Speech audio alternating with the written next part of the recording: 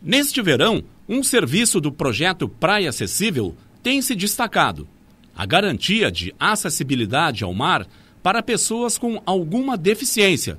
Mais uma vez, a FADERGS, nesta Operação Verão para Todos 2018, oferece cadeiras anfíbias para o banho de mar.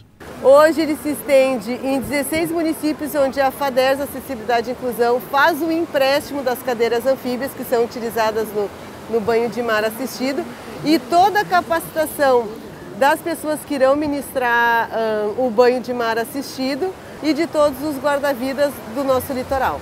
Cerca de 10 mil pessoas tiveram essa oportunidade desde 2012. Quem é o usuário aprova o serviço da FADERGS. Tu vem na beira-mar, no calçadão e olha aquelas pessoas e imagina como seria o teu banho e de repente tu te proporciona aquele momento dentro da água junto com todas as pessoas, a inclusão, isso aí é uma coisa que não tem preço. A FADERGS fechou parceria com o projeto Garopas.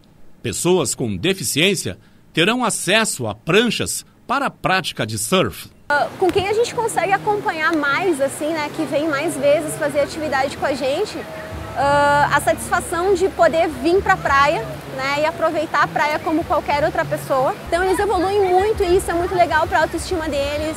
Uh, eles se sentem realmente cidadãos, eles se sentem ativos e, nossa, é impressionante.